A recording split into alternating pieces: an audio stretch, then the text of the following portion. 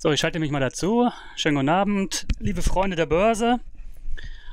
Heute mal mit einer Ölpumpe auf dem Cover.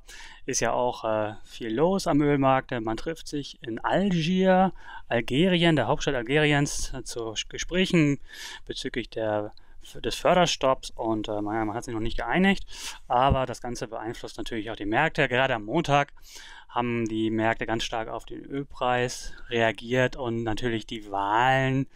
Gestern ja das Duell und es sah so aus, als wenn Clinton noch ein bisschen die Oberhand hatte und äh, ja, dem Widersacher ein bisschen überlegen war. Schauen wir mal, was wir vorhaben. Kurz noch hier, kurze Übersicht zum, zu mir, zum Referenten. Ich denke, habe ich auch alles schon genannt. Ähm, natürlich wie immer der Risikohinweis, dann haben wir Top-Meldungen, Hauptmärkte, auch jetzt natürlich immer die englischen Märkte dabei, Top-Aktien der Woche. Vier Aktien sind dabei. Ich hätte auch noch drei, vier mehr hinzufügen können. Allerdings war es so, dass, ähm, dass ähm, das natürlich den Rahmen gesprengt hätte. Aber erwähnen werde ich sie auf jeden Fall nochmal, gefolgt dann von äh, Punkt 5, Termine der kommenden Woche. Und dann kommen wir auch schon zu Tipps und Anregungen. ja, Risikohinweis an dieser Stelle. Hier nochmal die Kurzfassung. Anlagen im äh, Derivat sind natürlich auch mit Risiken behaftet und äh, darauf müssen wir natürlich auch mal hinweisen. Die Vollversion des Risikohinweiser immer am Ende des äh, Webinars. Ja, Top-Meldungen, da haben wir diesmal eine ganze Menge. Legen wir los, holen wir mal einen Zeichenstift. Ähm, da haben wir natürlich hier das OPEC-Treffen in Algerien und äh, das geht ja bis Mittwoch noch, also heute. Und ähm, ist die Frage jetzt, man munkelt so ein bisschen, äh, hat man jetzt hier Förderstoppniveau Einigung erzielt? Ähm, einige sagen ja, bis Ende November wird man das dann auch äh, einführen. Äh, andere sagen, das äh, muss nicht so kommen. Auf jeden Fall reagieren die Ölpreise auf jeden Fall darauf. Und äh, ja, heute Erdöllagerbestand wie immer ähm, teilweise es mal Mittwoch, mal am Donnerstag, USA. Und da haben wir hier eine Reduzierung um 1,8 Millionen Barrel gesehen, statt einer Erhöhung. Das war positiv gesehen im Ölmarkt. Gucken wir uns gleich mal an. Und da haben wir ja schon die FED. Ja, wird wahrscheinlich erstmal keine Anpassung geben. Die letzte äh, ähm, Sitzung war ja, die Zinsentscheidung war ja direkt am Mittwoch, am letzten Mittwoch unserer Marktbesprechung, konnte also nicht mehr äh, mit eingebracht werden. Ähm, wir sehen jetzt aber am Markt, dass ähm, auch am nächsten Termin, jetzt das ist der 2. November, keine Anhebung äh, erwartet wird. Allerdings haben wir dann noch eine am 14. Dezember und da ist die Wahrscheinlichkeit dann schon bei 48,3 Prozent. Ja, jetzt auf 0,75 Prozent dann, jetzt aktuell sind wir beim halben Prozent. Ähm, könnte also durchaus auch mal dieses Jahr eine Erhöhung kommen. Und das hat die Märkte doch, wie gesagt, ganz schön in, äh, in Wallung gebracht. Äh, äh, Fettäußerung. Ja, dann haben wir Bruttoinlandsprodukt. Morgen müssen wir darauf achten, werden wir uns bei den Terminen immer noch genau angucken.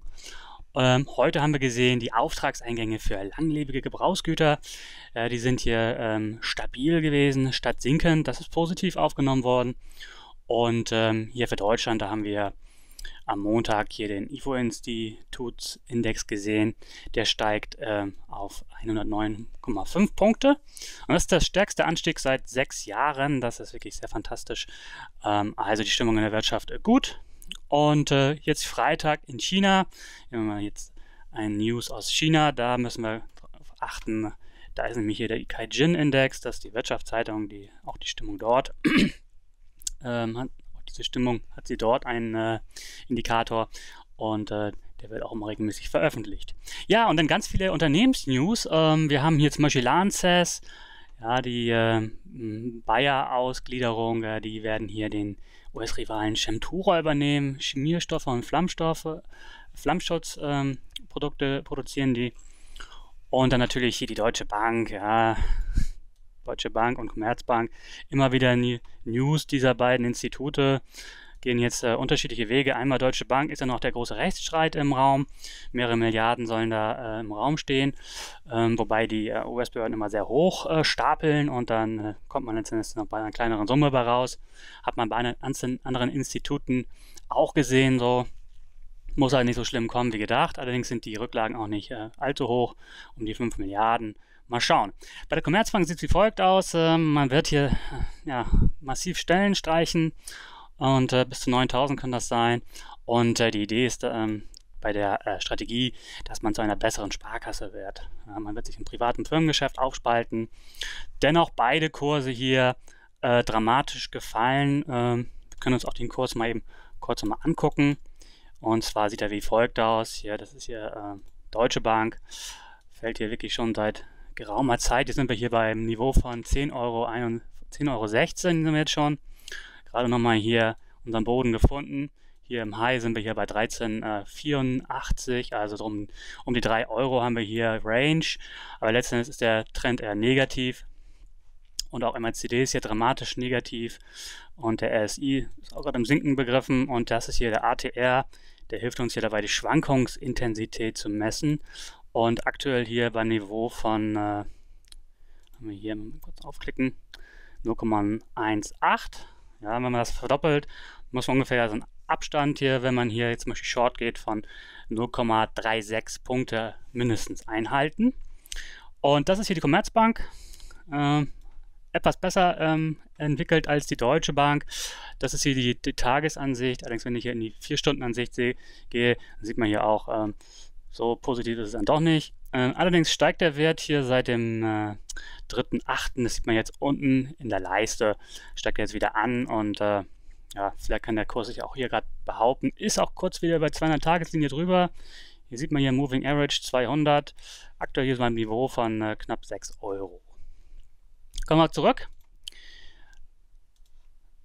Ein paar Sachen haben wir noch. Ist wirklich ganz eine Menge heute passiert. Ähm, Twitter. Twitter-Aktie hat sich ganz fantastisch entwickelt. Und zwar liegt das nicht daran, dass Twitter jetzt plötzlich Geld verdient. Nein, es liegt einfach daran, dass Twitter möglicherweise ähm, jetzt einen Käufer gefunden hat. Ja, und wer mag das sein? Es ist jetzt kein Telekommunikationskonzern, sondern es ist vielleicht äh, Disney. Und der ähm, Twitter-Kurs sieht wie folgt aus. Ähm, will ich euch auch nicht vorenthalten. Äh, hier Kürzel ist äh, twtr.n und hat einen ganz großen Satz nach oben gemacht, nachdem er hier äh, über die ähm, Disney spekuliert hat. Hier diesen ganzen Bereich hat der Wert gut gemacht hier. Und zwar hier von äh, ja, 18,60 äh, Dollar auf 20,90, also 2 Dollar gut gemacht, 2,30 Dollar. Und aktuell hier auch sein High gefunden bei fast äh, 24 Dollar, wenn wir mal überlegen, woher wir kommen. Wir waren hier noch äh, ähm, hier in diesem Bereich vom 24.05. Also hier um den Mai herum, da waren wir ja noch bei halb so viel, ungefähr bei 13 Dollar. Und das schon ziemlich, ziemlich positiv. Äh, davor ist der Kurs immer weiter gefallen, aber wie gesagt, jetzt aktuell ähm, diese ganzen Verkaufsgerüchte. Natürlich ist auch Twitter interessant, äh, weil man natürlich auch viele Kundendaten hat. Ja, das hat auch mal sehr, hat auch mal seinen Wert. Und äh, ja, schauen wir uns noch mal zwei weitere Sachen an, die hier passiert sind. Zwei habe ich hier noch, und zwar wird hier der größte Bierkonzern der Welt gerade geformt. Ähm, zwar ähm, will hier AB InBev, dazu gehört zum Beispiel auch Becks. Ja, AB InBev äh, sitzt hier in, äh, in Leuven, das ist ähm, in Belgien, im flämischen Teil.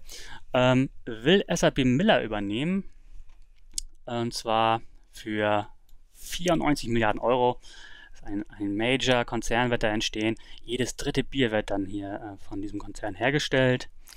Und last but not least, Air Berlin wird zerschlagen, leider, ähm, muss man sagen. Große Teile werden vielleicht von der äh, Lufthansa übernommen, andere von anderen Unternehmen. Und eben gerade noch reingekommen, Deutsche Post kauft UK Mail, weil Deutsche Post sagt, diese Auslagerung der Staatspost äh, ist interessant für uns, weil äh, UK ist äh, einer der drei großen Online-Märkte äh, für Online-Versand. Äh, dazu zählen Frankreich, Deutschland und äh, England. Also kauft man hier ein. Ja, schauen wir uns mal die Hauptmärkte an. Natürlich wie immer ähm, die sieben folgenden: Gold, Öl, Euro-US-Dollar und so weiter. Also gleich rüber in den MetaTrader 4. Dann müssen wir hier ganz nach vorne gehen. Also einmal hier der Goldkurs, immer noch äh, in einem Aufwärtsbereich begriffen und äh, aktuell haben wir ihn jetzt gerade noch hier so innerhalb des Aufwärtstrends. Ähm, bewegt sich aktuell in der Range von, äh, ich nehme mal hier mein Quadratwerkzeug äh, in diesem Bereich, also hier 1302, 1375. Da, da würde ich auch die Aufträge setzen. Ähm, aktuell dann doch eher noch im Aufstieg begriffen, alles im positiven Bereich. Äh, das ist hier der Ölkurs. Ölkurs äh, ist in diesem Fall ja der Brand. Ähm, wir haben ja jetzt gewechselt und äh, Brand macht, wie gesagt, äh, heute kaum Veränderung. Man wartet halt ab. Also es ist wirklich so, minus 0,01% äh, fällt er hier. Das ist also gar nicht der Rede wert. Ähm, Gold heute hingegen ein, Prozent, ein halbes Prozent zurück. Aber ähm, ja, ich muss hier ein bisschen, das sind 15 Minuten Ansicht. Ähm, hier in meinem Wechsel Tagesansicht zu 4 Stunden Ansicht. Also hier nochmal alles zurück auf Anfang. Also der Boden hier bei 27,41 und ähm, seitdem haben wir hier den äh, Ölpreis im Anstieg begriffen. Noch alles im, im Rahmen und auch genau wie beim Goldpreis bewegen wir uns hier in einer Seitwärtsphase. Wir haben hier die 41,63 und die äh, hier im High haben wir die 53 Dollar und äh, dann ein bisschen näher rangehen. Also hier die 4-Stunden-Ansicht. Muss ich ein bisschen hier das Ganze auseinanderziehen. Dann sehen wir ja auch, ähm, ist ja nach wie vor hier ein, ein Kauf, würde ich sagen. Ähm, wir sind auch noch nicht über die, äh, hier die Bodenbildung hinaus. Das ist dieser Bereich hier. Ja, dieser Anstiegsprogramm äh, hier, das ich hier benutze, dieses Zeichenwerkzeug, der, die Standardabweichung zeichnet immer drei Linien ein. Einmal die Unterstützungslinie, dann die Widerstandslinie und dann habe ich hier noch einen Mittelkanal. Sehr hilfreich. Und ich kann das Ganze sogar noch verändern. Doppelklick drauf, dann erscheinen hier so ähm, drei Buttons, das sieht man hier. Hier ist noch ein weiterer und äh, ganz links noch, muss noch einer sein. Wenn ich das Ganze so mit Rechtsklick anwähle, kann ich hier in die Eigenschaften gehen. Und dann kann ich auch sagen, äh, die Abweichung nach oben und unten soll noch ein bisschen größer sein. Sag mal 1, 3. Dann habe ich hier noch eine größere ähm, Differenz. Und das hilft mir dabei, einfach den, den Trend hier besser einzugrenzen. Also hier, das Ganze hier wurde jetzt noch ein bisschen erweitert. Kann ich nur jedem empfehlen, das hier zu nutzen. Das ist hier die Standardabweichung. So heißt das Ganze. Also Gold nach wie vor hier äh, ein Kauföl auch. Ähm, aber wir warten, wie gesagt, auf die äh, Ausgang äh, der Ergebnisse heute. Und da haben wir schon den Euro-US-Dollar. Der macht heute 0,26 äh, Prozent äh, äh, einem Rückgang von 2,26 Prozent. Wie gesagt, das hier der dritte Anstiegsversuch des äh, Euros. Und gehen wir müssen in die 4-Stunden-Ansicht, dann sehen wir das auch hier, welche Bereiche werden jetzt für uns interessant. Der Aufwärtstrend nach wie vor intakt. Also, für uns interessant jetzt die Marke von 1,13. Äh, die haben wir hier in einem Bereich von 17. August gesehen. Und hier im Low haben wir den Euro-US-Dollar hier bei 1,11. Äh, ist aber hier nach wie vor hier ein Kauf. Aus meiner Sicht, wir haben hier auch äh, schön den Trend hier einmal hier bestätigt und hier ein zweites Mal. Je häufiger das der Fall ist, desto besser. Hier auch zweimal. Und ähm, ja, wie gesagt, aktuell hier eine Range von 0,02 begriffen.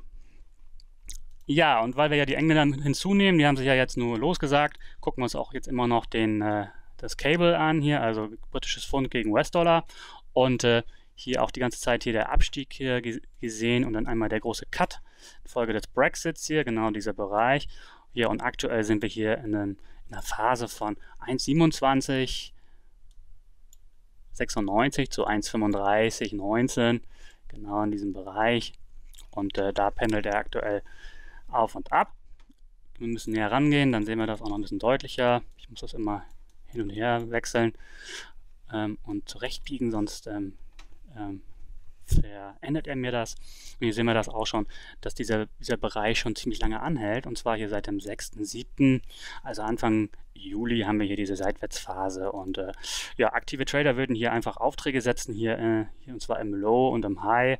Die Bereiche habe ich ja eben genannt. Das hier also der, britische Pfund Cable. Und da haben wir auch schon den DAX. Äh, DAX heute 0,78% äh, äh, macht der Boden gut. Insbesondere heute die Linde, äh, die, die äh, den DAX nach vorne treibt. Linde ist nämlich ein weiterer Titel, der von sich reden macht und äh, ähm, da ist die Rede davon, dass ähm, ähm, man mit dem äh, US-Konkurrenten Praxair fusioniert. Ähm, und das schiebt den Aktienkurs hier mächtig an. Wir haben hier fast 4%, den die Linde hier Boden gut macht. Wir können uns die Linde auch mal ganz kurz angucken einfach hier Rechtsklick in die Marktübersicht, dann Symbole und dann gehen wir hier in den äh, equities.de und die Linde, natürlich hier bei L, ist ja auch ähm, alphabetisch sortiert. Doppelklick, dann hier Rechtsklick und da haben wir sie schon und ich habe mir die Vorlage gespeichert. So, und hier haben wir die Linde schon. Jetzt gehen wir nochmal ein bisschen zurück. Tagesansicht und dann sehen wir hier die Linde, die macht hier auch eine gute Figur, hätte man ebenso gut auch die Linde heute mitnehmen können.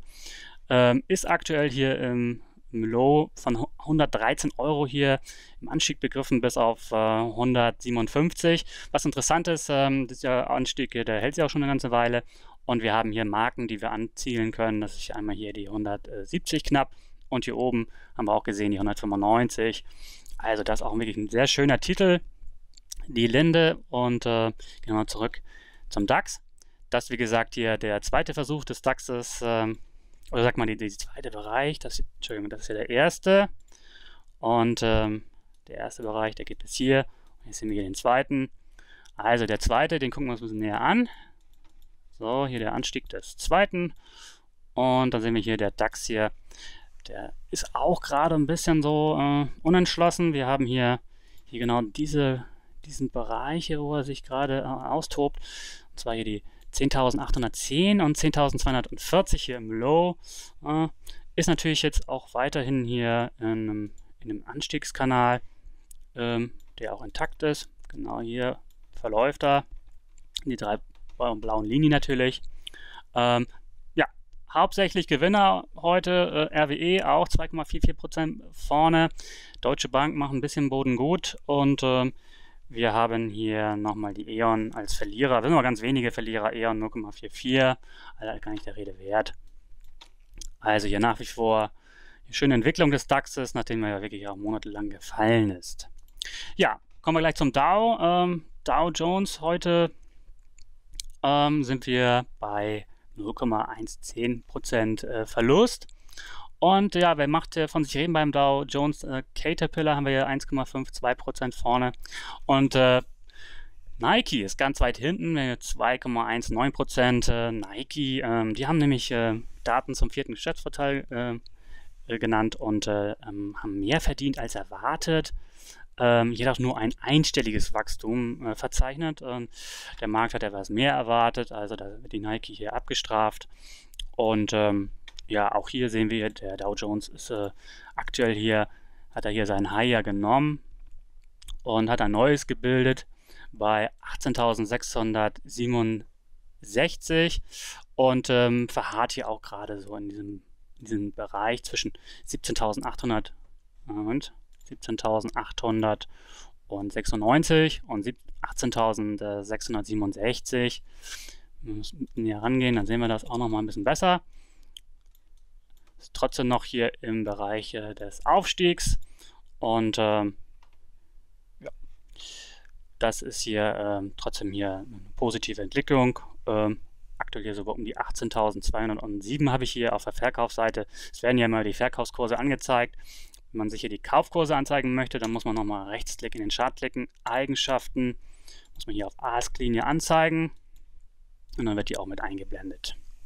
Ansonsten natürlich immer hier in der Marktübersicht zu sehen. Ja, und dann kommen wir noch zum Schluss äh, zum UK, also zum FTSE 100 und auch hier haben wir eine schöne positive Entwicklung. Ähm, allerdings können wir hier noch ein bisschen äh, Boden gut machen und zwar fehlt uns hier noch ein bisschen was zum High. Das High wurde ja hier am 17.04. gebildet ähm, also wir können hier noch äh, ein bisschen guten gut machen bis, zum 17, bis zu den 7128. Äh, aktuell sind wir hier bei 6859, also um die 200 äh, Punkte können wir hier noch gut machen. Das äh, auf jeden Fall hier nochmal ein schöner Einstiegsmöglichkeit. Wir sind hier auch über der 200er Tageslinie schon drüber, den wir hier sehen. Und ähm, weil man sich hier vielleicht fragt, was sind das einfach für Pfeile hier? Wir haben hier roten und wir haben hier blaue Pfeile. Ja, ich habe hier den MACD äh, genutzt und zwar ist es der Typo MACD und äh, der lässt mich hier ähm, so Pfeile generieren. Immer dann, wenn sich hier die Signallinie und die MACD-Linie hier kreuzen. Ich habe hier noch ein bisschen verändert. Äh, hier Rechtsklick auf Eigenschaften. Ich habe hier einfach die Bereiche nochmal verdoppelt. Da steht hier sonst ähm, Fast 12, Slow 8, äh, 26 und Signal SMA hier bei 9. Das habe ich verdoppelt. Ähm, sonst hätten wir ähm, noch viel mehr Signale. Also war so auch schon genug. Ähm, das ist ein ganz schönes Tool. Also drei haben wir jetzt hier drin. Den RSI, also relative Stärkeindex, um ATR für die Schwankungsbreite und den MACD. Ja, die Deutsche Bank, Commerzbank haben wir schon gesehen. Kommen wir also gleich zum nächsten Punkt. Äh, das sind die Top-Aktien der Woche. Welche haben wir mitgebracht heute? Ähm, einmal hier ABB, wir sind ja also in der Schweiz. Äh, ABB, ein Mischkonzern, äh, Stromnetzsparte und Automatisierung äh, macht man, äh, ist man tätig. Ähm, auch äh, Kabel äh, stellt man her. Das ist ganz interessant. Ähm, hier Kürzel habe ich jetzt immer mit eingefügt ähm, für diejenigen, die die Wert hier auf jeden Fall interessiert. Also Kürzel ist hier abbn.vx und ähm, ja, was ist bei ABE aktuell so interessant? Ähm, ja, ähm, Chinesen möchten einen Großteil der ähm, Sparte des, äh, des, äh, des, des Hochspannungsnetzes, äh, des Hochspannungsnetzbaus, möchte ich sagen, äh, kaufen. Äh, China möchte nämlich äh, laut dem Fünfjahresplan ähm, sein eigenes Land mit Hochspannungsleitungen ähm, ähm, durchziehen. Äh, in Bayern ist ja bei uns auch gerade so ein Thema, ähm, soll ja sehr teuer werden. Das Ganze soll als Erdkabel verlegt werden. Und ABB hat äh, eine ähm, großartige Technologie hier vorangetrieben, und zwar die HVDC-Technologie. Und äh, dabei geht es darum, ähm, Strom mit hoher Gleichspannung zu übertragen. Ähm, Vorteil ist, dass man ähm, statt drei Leitungen bisher nur zwei braucht und man kann mehr Leistung übertragen. Und das wird dann natürlich auch weniger kosten. Ne? Und da ist man einfach ähm, gut äh, im Markt vertreten. Ähm, teilweise werden auch schon Bereiche bei AWE verkauft. Man hat hier den Hochspannungskabelbereich Bereich verkauft, 836 äh, Millionen äh, an ein dänisches Unternehmen. Aber ähm, ähm wie gesagt, ähm, einen weiteren Bereich, der, daran interessieren sich ja die Chinesen jetzt. Schauen wir uns mal den Kurs an. Ähm, der sieht wie folgt aus. Doppelklick und der Kürzel hatte ich ja eben genannt hier. Ähm, das ist hier ABBN VX H1. Hier im Low bei 18. Äh, Schweizer Franken 59 und hier oben High bei 22,17. Und ähm, ah, ich muss das nochmal eben ändern, Entschuldigung. Das ist natürlich CRF. Kein Problem. So.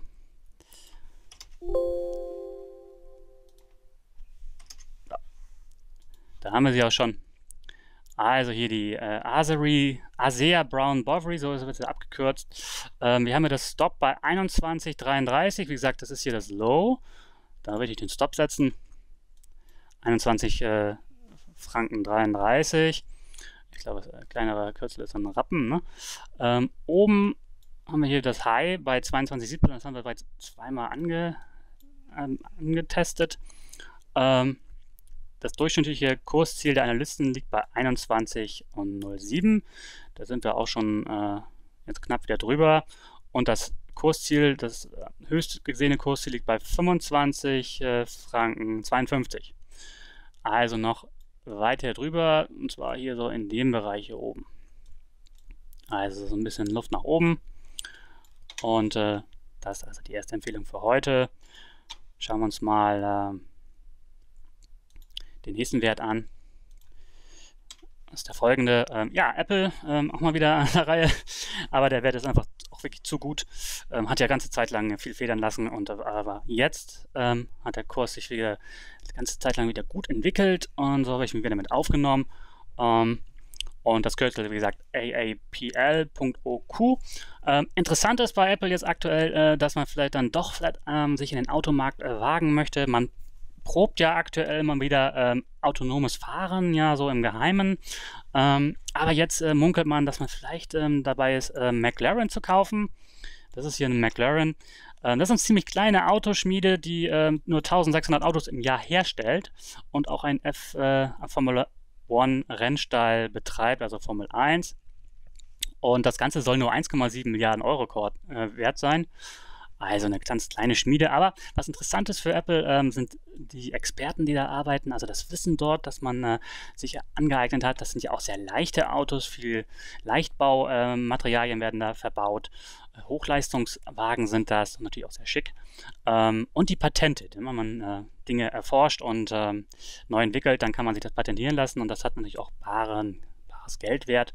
Und äh, ja, wie gesagt, Apple baut selber daran und vielleicht könnte man so einfach das Ganze beschleunigen. Andere Unternehmen arbeiten da ja auch dran. Deutsche Unternehmen sind aktuell wieder sehr stark äh, autonomen Fahren und elektrischem Fahren jetzt unterwegs, haben halt vielleicht doch jetzt die Wende bekommen. Und äh, so muss man jetzt auch äh, in Kalifornien jetzt äh, einfach einen Schritt weitergehen. Was ist noch passiert bei Apple? Man hat ähm, jetzt das Sonos Audiosystem in Verkauf aufgenommen.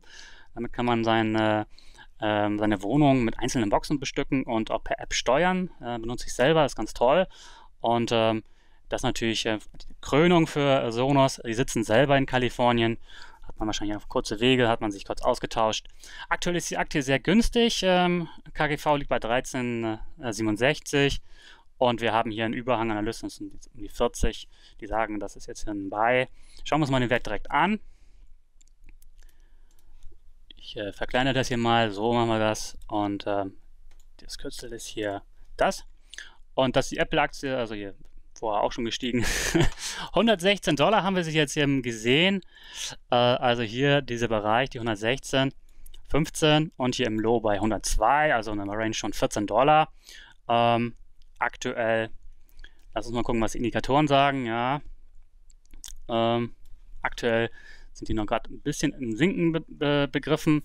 Allerdings ähm, ist natürlich auch immer so die äh, gewisse Schwankung dabei. Muss man jetzt einfach mal den richtigen Zeitpunkt abwarten, ähm, ähm, dass man hier den richtigen ähm, Punkt zum Einstieg findet. Stop würde ich hier auch hier im Low hier setzen und ähm, das Kursziel maximal bei 185. Das ist wirklich weit, weit, weit über dem Punkt hier. Da muss man ganz weit hochscrollen. Ähm, Im Durchschnitt liegt das hier bei 126. Das ist ja aber auch schon nicht mehr zu sehen. Also hier ist man hier durchweg positiv äh, der Dinge bei der Apple. Gehe ich mal in die 4-Stunden-Ansicht, dann sehen wir hier auch, äh, dass das hier wirklich ein ganz steiler Anstieg ist und äh, ein Low gebildet hat die Apple hier. Kann ich hier mal einblenden. Hier mache ich einfach hier so ein Dauer, so ein Kreuz rein in dem Bereich von äh, den 12.05. Seitdem steigt die Aktie hier auch konstant an. Und äh, das ist ja wie gesagt auch schon eine ganze Weile her, fast vier, vier, fünf Monate. Also das hier eine schöne Empfehlung. Gucken wir uns mal den nächsten Wert an. Und äh, zwei haben wir ja noch. Äh, das ist die Inditex. Das ist auch wirklich ein großartiger Titel. Ähm, Inditex, ja, spanisches Unternehmen. Und äh, gibt ja gar nicht so viele spanische Unternehmen, äh, die man hier ich persönlich zum Kauf empfehlen würde. Ähm, ähm, der Inditex-Gründer, einer der reichsten Menschen der Welt, teilweise auch immer der zeitweise auch der, der, der reichste Mann der Welt überhaupt, wechseln sich ja immer ab. Bill Gates und Konsorten ähm, und Carlos Slim. Ja, ähm, Inditex ähm, hat eine ganze Menge Marken hier am Start. Äh, hier habe ich ein paar aufgezählt. Natürlich Zara, klar, aber auch Massimo Dutti gehören dazu, Berkshire und so weiter und so weiter. Und wie gesagt, ähm, man hat hier tolle Zahlen präsentiert. Ähm, Umsatz und, Quart und Gewinn sind gestiegen im ersten Quartal sehr stark.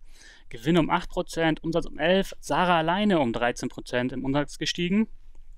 Und woran lag das? Ja, insbesondere daran, dass man neue Verkaufsläden eröffnet hat.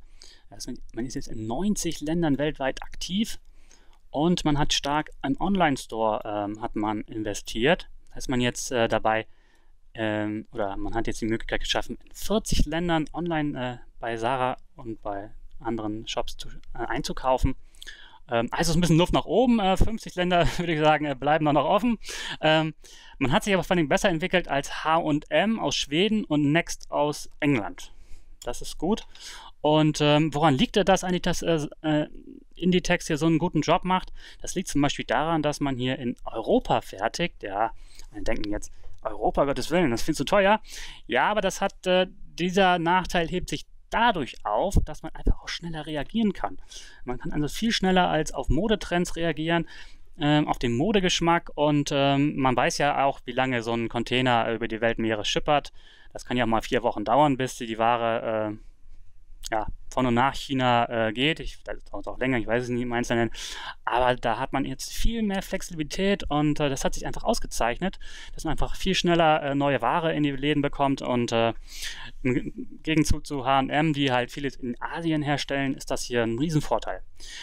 Dazu kommt, dass man Mobile Payment in den Stores ähm, jetzt gestartet hat. Man kann also per Handy bezahlen. Und man ist jetzt aktuell der größte Kleidungseinzelhändler. Ja, KGV ist schon äh, ja, doch etwas teurer, aber lass uns mal den Wert mal hier angucken. Kürzel ist ITXMC, ist hier unten dargestellt. Und ähm, die ähm, Inditex, das ist hier wie folgt. Hier ist das, äh, hier ist der Chart der Inditex und äh, ich muss mal wirklich weit zurück scrollen.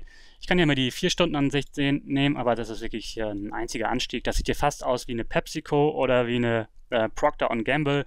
Fantastisch großartiger Titel und geht immer so weiter, möchte man meinen. Ähm, also, ich blende hier mal das mit ein. Hier nebenan tue ich das hin. Und ähm, jetzt haben wir hier auch schon gesehen, zweimal wurde hier das High von 33,41 Euro äh, angetestet und zweimal hier im Low bei 31 und äh, 50. Und ähm, ja, wir haben hier, ähm, wie gesagt, äh, die Möglichkeit, hier bei 31,5 einen Stop zu setzen. Kursziele wären dann ähm, hier, äh, ja, das sind hier die durchschnittlichen Kursziele, äh, 34, äh, aber das ist auch schon nicht mehr so ganz äh, interessant für uns. Das wäre also hier. Nein, wir sollten uns eher so hier an die 40, 50 im hier Maximum hier orientieren, die die Analysten hier Maximum sehen. Also 40 Euro, das ist hier, na, da muss ich doch mal einen anderen äh, Zeitintervall hier nehmen. Also die 40 Euro, die sind hier. Oben sind sie. Da. Hier sind sie. Also ist noch eine Menge Luft nach oben. Also 7 Euro haben wir hier, die wir noch Boden gut machen können. 7 Euro hier in diesem Bereich, wenn wir uns hier jetzt hier für einen Kauf entscheiden würden. Also, das ist wirklich ein großartiger Titel und mal was ganz anderes. Also, gleich zum nächsten. Einen haben wir noch. Ähm, das ist der folgende bisschen versprungen. Da ist aber auch schon, ja, ein deutscher Titel ist noch dabei. Das ist die Henkel. Äh, Henkel gerade äh, ein Waschmittelhersteller in den USA gekauft. Äh, wie gesagt, das ist ja schon ein paar Monate her, aber jetzt ist der Kauf auch abgeschlossen. Und zwar für 3,2 Milliarden. Das ist ziemlich viel Geld für die Henkel, die eigentlich sonst immer, ja, ja, immer so ihren Job gemacht hat, äh, auch ganz ordentlich. Ähm, aber jetzt ist man dabei, wirklich auch zu expandieren. Ähm, und das ist auch ein ziemlich großes äh, Unternehmen, was man gekauft hat. Sun, nämlich ist ein Waschmittelhersteller. Und äh, damit ist man jetzt hier die Nummer 2 am US-Waschmittelmarkt. Das ist natürlich eine ziemlich äh, große Sache. Ähm, Sun alleine macht hier 3,6 Milliarden. Und der Henkel-Chef Hans van Beilen, wie gesagt, hat das nochmal so äh, gesagt, verdeutlicht, ähm, dass das dann, wie gesagt, auch ein großer Sprung zu Diversifizierung ist. Also man erzielt dann auch große Einnahmen äh, außerhalb Europas. Das ist natürlich sehr wichtig, falls man auf einem Markt nicht so gut läuft. Ja, hier so ein paar Produkte dargestellt. Ich denke, die meisten kennt man auch. Ähm, und ähm, aufgeteilt ist die Unternehmensphilosophie ähm, von Henkel so auf die Bereiche Laundry, Home und Care, das ist also äh, Waschmittel, dann Beauty Care, also auch hier so ähm, alles, was hier rechts zu sehen ist, so Haarpflegemittel und Adhesive ich hoffe, ich spreche es richtig auf, Technologies, das sind Klebestoffe und das ist hier in der Mitte zu sehen. Na, hier links der letzte Bereich. Also in der Mitte hier, das hier, das sind hier so Klebe, Klebstoffe und dergleichen. Patex natürlich. Äh, Loctite kennt man vielleicht auch. Also schauen wir uns mal den Wert an. Sehr schön aus Düsseldorf. Kürzel ist hier HNKG unterstrich P. Und ähm, das ist hier der Kurs der Henkel. Und hier kann ich auch nochmal äh, den Bereich einzeichnen, wo die Henkel sich bewegt, nämlich zwischen 115 Euro und 122. Und das High hier, das äh, liegt bei 144. Stopp würde ich ja auch unterhalb dieses, also genau auf diesem, diesem Low-Marke würde ich hier Stop setzen und ähm, würde hier die Henkel auch äh, zum Kauf empfehlen. Ja, ich hätte auch äh, weitere Werte hinzufügen können. Ähm, da fiel mir zum Beispiel noch ein Adobe.